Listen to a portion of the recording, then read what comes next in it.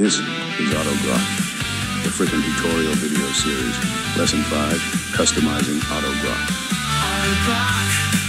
Auto Groq, auto auto, auto auto, auto auto, auto auto. You might have noticed I always include this PDF file in my codebase. I wish everybody did this. The autogroq.pdf file contains all the Python source code for our project, making it quick and easy to ask Claude, OpenAI, or your LLM of choice for help with the software.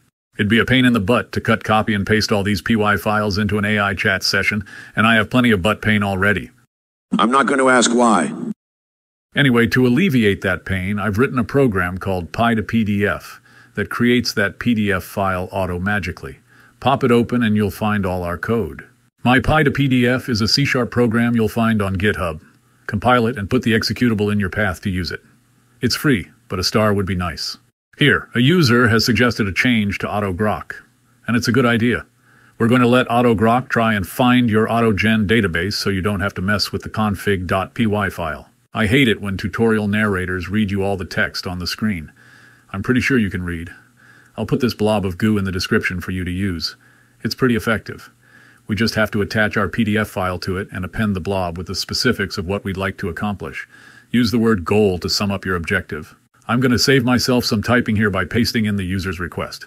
Then all I have to do is add my own objectives and we'll let Claude take it from there. This video is not sped up. I can totally type this fast. Bull crap. I couldn't put it on the internet if it weren't absolutely true.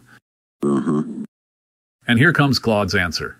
We gave the AI the entire codebase with pretty effect instructions not to F it up, and the results are an impressive step-by-step how-to guide on implementing this user's request.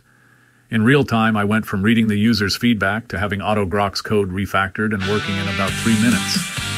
Hopefully, this gives you an appreciation for the PDF file I include with every release. Auto Groq, auto Groq, so on.